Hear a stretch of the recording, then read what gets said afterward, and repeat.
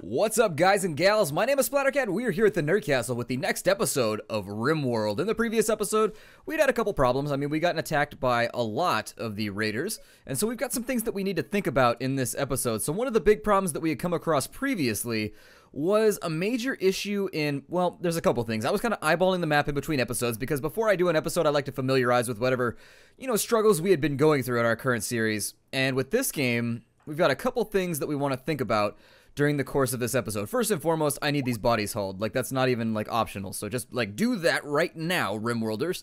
And once you get rid of all the dead bodies, then I can be pleased with you and no longer want to beat you to death with a pointy stick.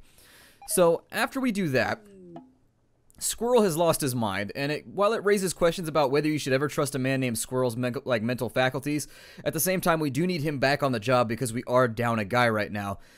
The other thing is that all of our guys have decent weapons at the moment. I mean, they don't have incredible weapons. Everybody's got a pistol. What do we have over here in the stockpile? We got like sniper rifles. Okay, those aren't going to help. Sniper rifles completely and totally worthless in this game. Don't even bother with them. They have such a long cast time. I call it a cast time because that's what it is to me. Like you see that little bar moving around, and it reminds me of a cast time from an MMO. Oh, he's got no gun. Okay, well you go get a pistol then. Cross. Why don't you have a pistol? Maybe he got knocked down in the last fight.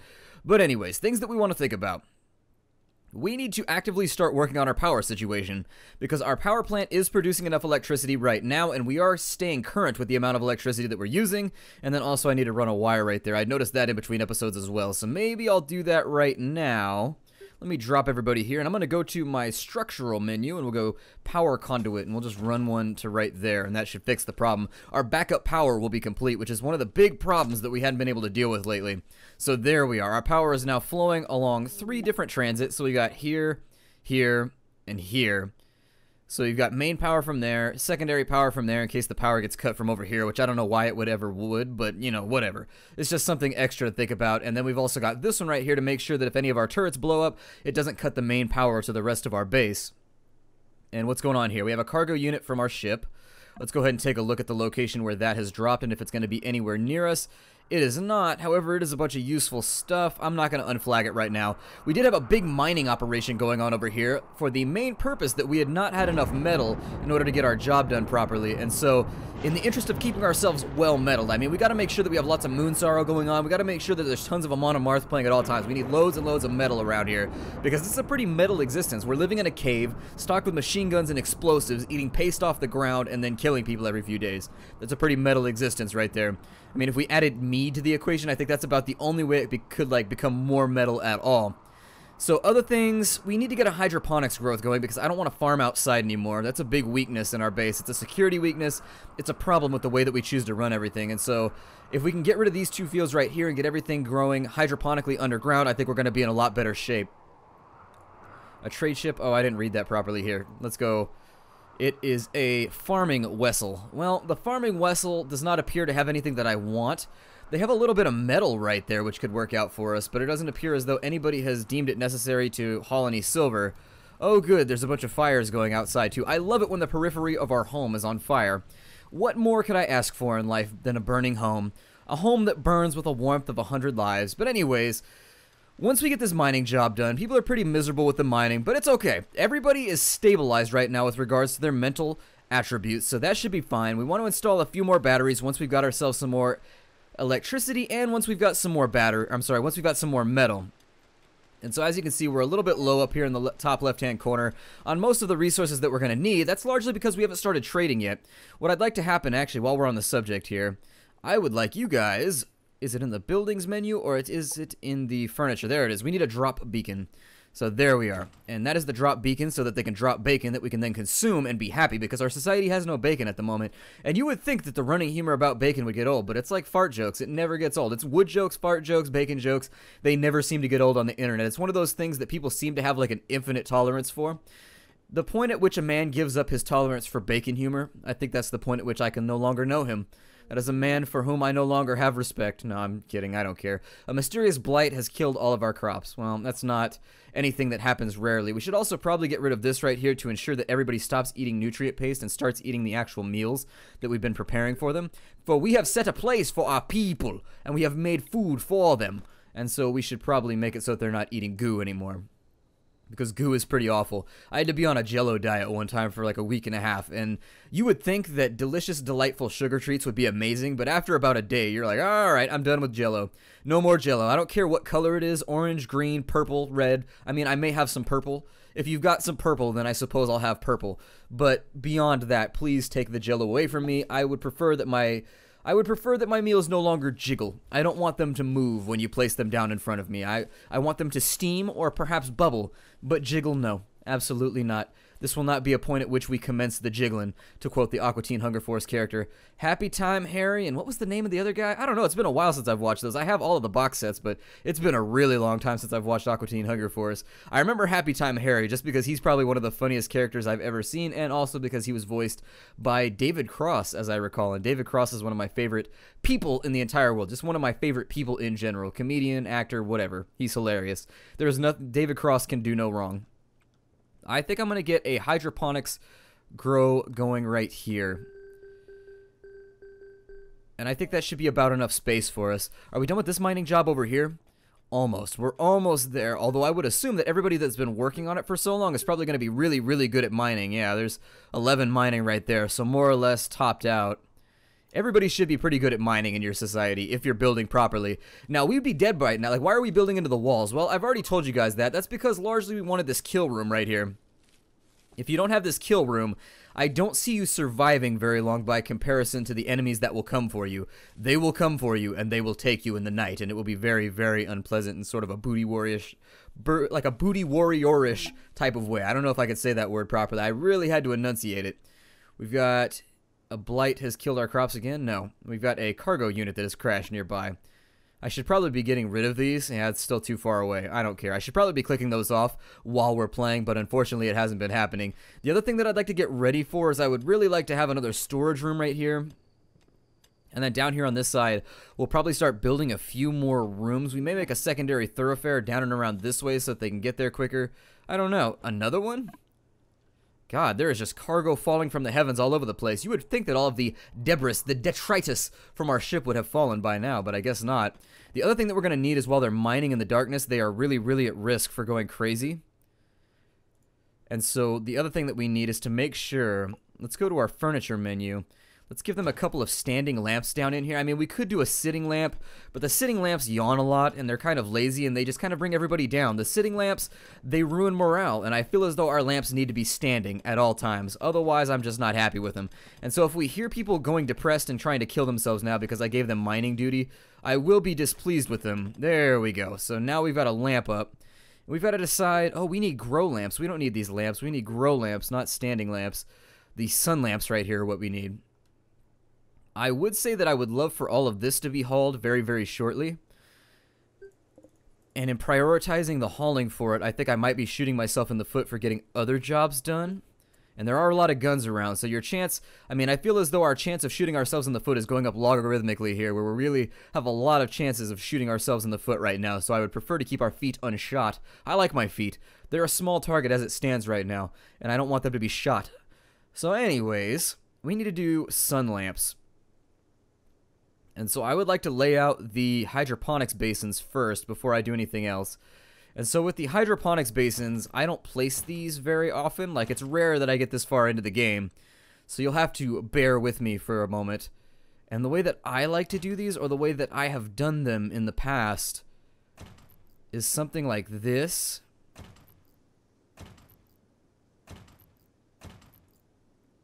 And then what we'll do and this may be overkill. I'm not trying to run these at optimal capacity right now.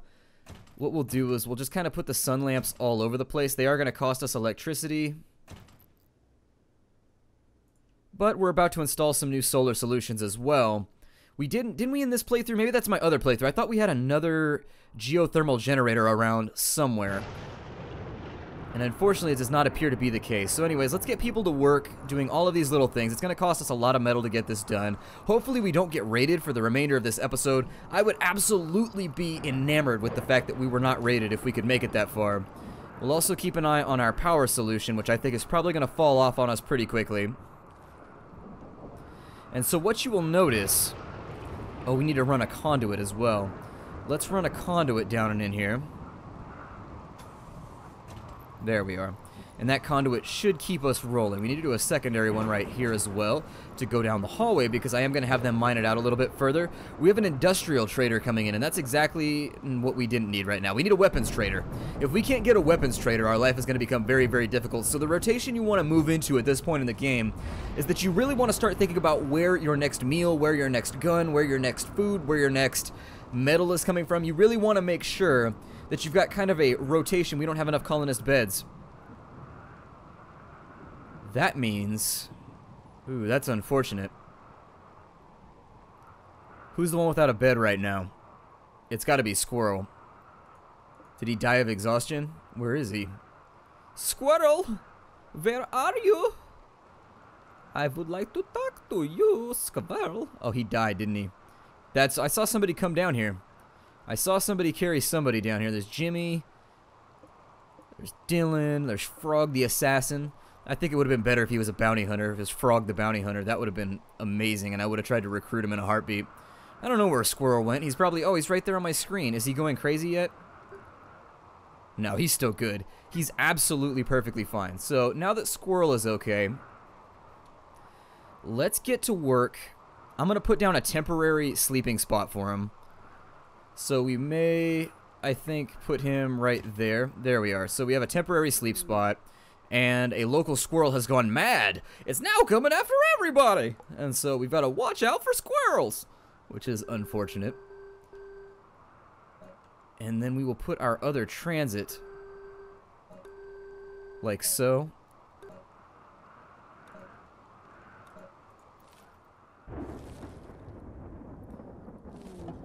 And then we've got raiders as well. So we want to make sure...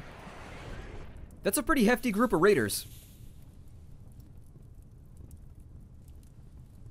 Let's take a look at what their weapons are. Pistolas, that's bad, because if they had really badass guns, they probably won't have frag grenades. And so there it is. That's what we want to watch out for, is those fraggles. So we have two people with frag grenades. That's a big, major issue. So as always, frag grenades are overpowered right now within the confines of the game. They try to balance themselves out by being like, oh, but you have to carry them really close to the enemy, but they are a one-shot, one-kill as the game goes right now, and so you need to be very, very careful about them. I'm going to go ahead and power up all the guns, just in case anybody comes at me. I don't know if we have enough guns right now to actually survive this attack. And so the other thing that I would more than likely recommend is that maybe we put in another improvised turret right there. And then like another one maybe right there. And we just kind of see if they can get it done before all this happens. And then what I would do is I would cancel out that work right there. And I would automatically assign somebody to... These have already been prioritized by somebody. Okay. So we've got a little bit of time. We may be able to squeeze these in before anything else terrible happens, but I can't really guarantee it.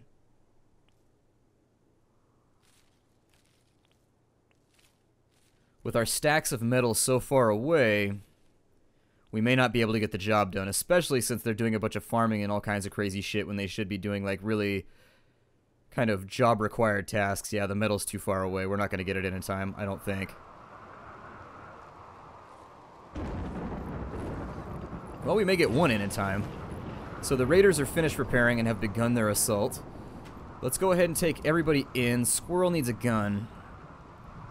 So let's grab him a gun. Actually, there's one right there. Good. So we'll grab him a gun off the floor. Big Cook, we need you in here. Actually, Big Cook, go stand outside and bait everybody.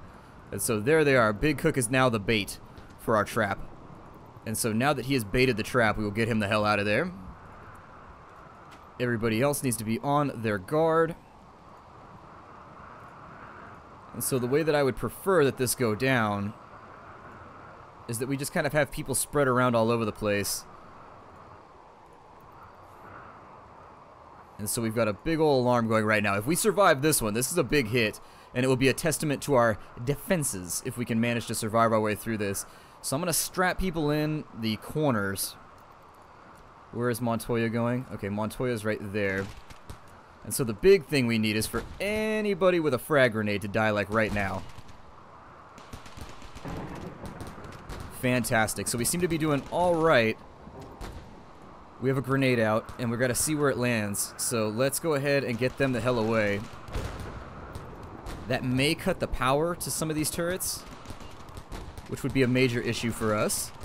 Ah, critical alert, and Nessa needs rescue. Okay, so rescue Anessa and extract her. You guys all get up in here. Okay, so they're now running away. So we can release everybody from their earthly duties. Although sometimes your earthly duty just needs to be released. I mean, every now and again, you just kind of got to let it go. It's part of life. And so now that she's asleep and Nessa should be okay, we'll take Big Cook off the job. And everybody should just go straight to sleep now. Because they're in darkness, we need to make sure what has gone wrong. Oh, we're out of battery power, interestingly enough. Okay, let's cut all the turrets out then. We didn't lose any turrets during that play, so that's amazing. All the lights should come back on in just a second, I think. I don't think we're running enough lights to really kind of ruin our lives here, but we may be able to. And then from there, we need to put up the solar generators, so it is time. The time has come. So let's put in solar generators everywhere that we can. So we'll put in...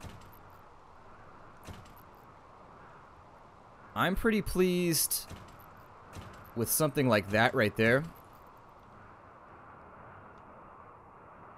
And it may be due to the fact that the grow lights are actually using everything up, so that could be our other problem. Now, why do you want to do hydroponics? Well, hydroponics are really useful to you because they grow around the clock. Now, the plants that are outside, the plants outside only grow when the sunlight is on them. So the plants inside grow 24 hours a day, which means you're going to be getting high yields like all the time, which is pretty badass. It's a good, good thing. Let's move some of these guns around because I do want to make some money once we get a weapons trader. And then past that point, we'll start having people haul out the dead bodies. I mean, they always have the tendency to sort of ignore that job. And what we'll do now, we'll run a conduit to there. We'll just kind of link all of these together. And then I think six of these should give us enough surplus power to make our lives a little bit easier. But as it stands right now, if we get hit by another group of raiders, we are going down. So we need to get our power back and squared away. Very, very badly, in fact.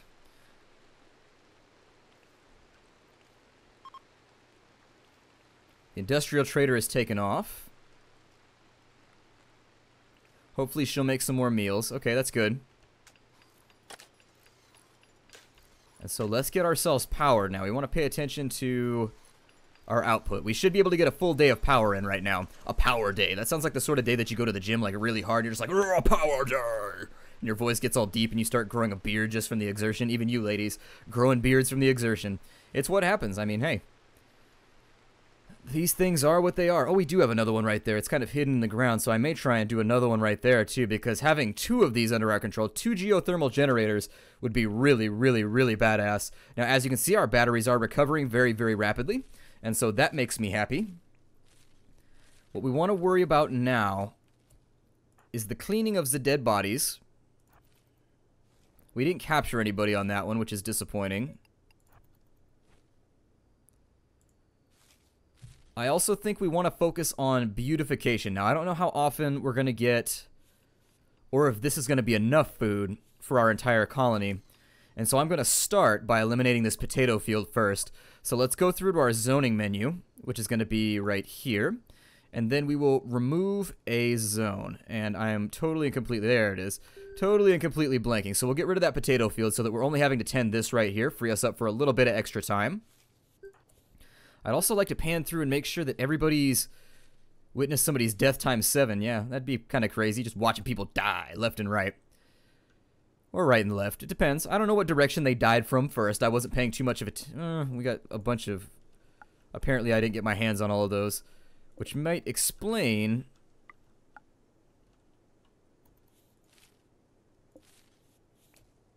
What is going on here? Oh, they changed my hotkey on me. Okay, so let's go and power those all off now. We've got the strawberry harvest going, and things are looking pretty good for our little colony. I mean, we could really, really, really use a weapon trader, though. That's the major, major concern that I have, is if we can't get ourselves a weapon trader soon, we are going to find ourselves very, very deficient when it comes to metal. We've Got a lot of very varies in this episode, but believe me, they are a problem. I should probably also hunt out some of these rats and stuff right here. A traveler named Albina is passing by. She is a civil surgeon, or a civil servant, not a civil surgeon. I don't think we're going to make it to Albina in time unless she's cutting... Well... What are his needs right now? Is he bummed out? He's pretty bummed out, so I don't think I want to draft him. We need to find somebody who's not in a bad mood to draft up. There we go. That'll work. So go get Albina, because we could use extra people in our colony now. And as soon as Anessa is back up and running, or at least back up and walking, back on her feet in general, we'll give her her shotgun back. We'll probably be okay. Let's haul some of these dead guys, too. I'm tired of having everybody walk by dead people every time. Well, first things first, grab your shotgun. And then we will prioritize hauling Stonejaw. He probably got that from getting punched a lot, I bet. A guy that gets punched a ton and doesn't get knocked out, I'd name him Stonejaw, too. Raiders have landed nearby again. Damn. Okay, so we're getting really unlucky here. M24 frag grenades. M24, M24, Molotovs. That's actually really, really good for us because it will allow us to dispose of all these bodies down here finally. So even though we haven't even hauled out the bodies from the first excursion into Kill Land, Big Cook, why are you just standing around, bud? There we go. I had to reset his pathfinding. He's fine now. Everything is okay with Big Cook. Oh, we need to undraft her because she's starving to death and about to go crazy.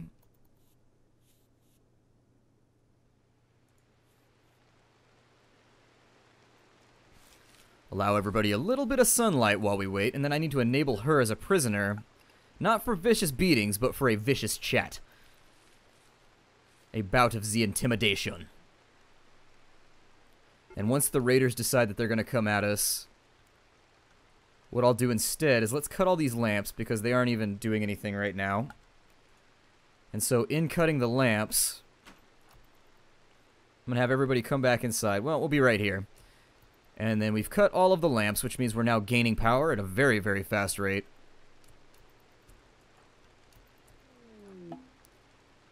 A local boom rat has gone crazy. Oh, I need to power these back on.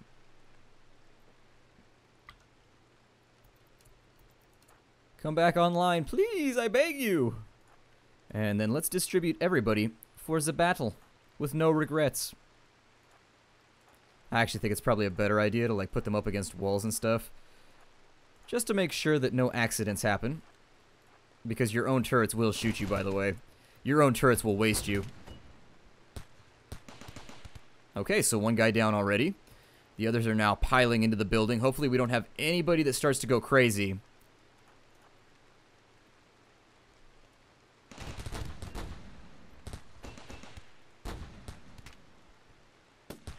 Oof. Big hit right there on Anessa. Unfortunately, that guy has cover. The game has some weird corners. I'll leave it like that. Like, right now, she's still trying to fire at Anessa. It's a weird state that the game is in right now where there's some kind of, like, peekaboo mechanic in place. But not quite. And we need to kill Levin very, very badly. There we go. So Levin is now dead. Whew. I love the gun sound effects, by the way, in this game. It's one of my favorite things about the game, in fact. Go ahead and let everybody off duty now. And we may lose two. Well, maybe not. Should be okay. Everything will be fine. And I think this is probably a decent place to break off the episode. I feel like we've accomplished enough in this episode to where we can move forward. It's one of those games where you really want to make sure you get something done every episode. Let's power all this down, though, before I go.